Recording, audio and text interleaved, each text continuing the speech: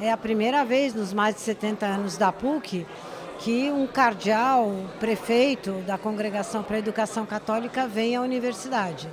Eu entendo que isso acontece porque o Papa Francisco tem uma especial, uh, tem uma especial preocupação com a educação, com a educação voltada para as questões sociais, com a educação aberta para o mundo, com a educação comprometida com um mundo mais justo.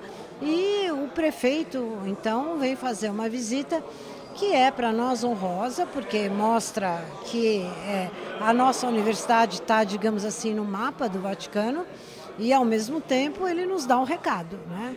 que o Vaticano espera que a PUC seja uma universidade é, cientificamente livre, soberana, mas também comprometida com questões e causas sociais. A que ter uma sua autonomia. Porque é a busca, a pesquisa do que é lindo, do que é verdadeiro, do que é bom para cada criatura umana. Obviamente as instituições, incluídas aquelas do Estado, mas não só elas. Essas instituições possono intervenir, possono contribuir, mas tem que lembrar que quem tem a escolha para a educação é a família.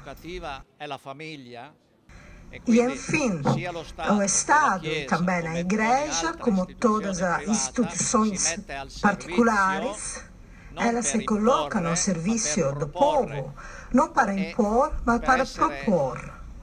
E para ser democrático, um Estado precisa permitir várias propostas. Propostas que sejam a escolha das famílias e dos jovens, e não uma imposição, como um monopólio, como uma ideologia de umas dessas instituições. Era o Estado quando vira ideológico, ético, era a igreja se quer impor e não propor, e eram as famílias que não deixam os filhos livres de escolher o próprio caminho. O que tem um papel educativo, formador de pessoas para a sociedade, portanto, um papel que é importante, sem dúvida, é, de pessoas que possam desempenhar uma liderança positiva para o discernimento, consciência crítica, depois uma consciência propositiva para os caminhos de saída da situação em que nós nos encontramos no Brasil. O Papa Francisco convida todas as universidades católicas a abrir-se à sociedade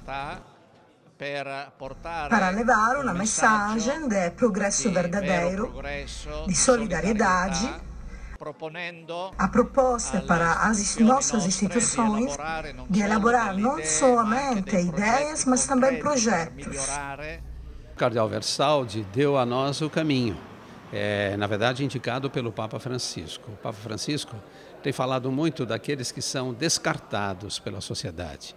E aí a gente entende os desempregados, os migrantes, os pobres, os abandonados, então é junto deles que a gente tem que fazer uma aliança, é com eles que a gente tem que fazer uma aliança.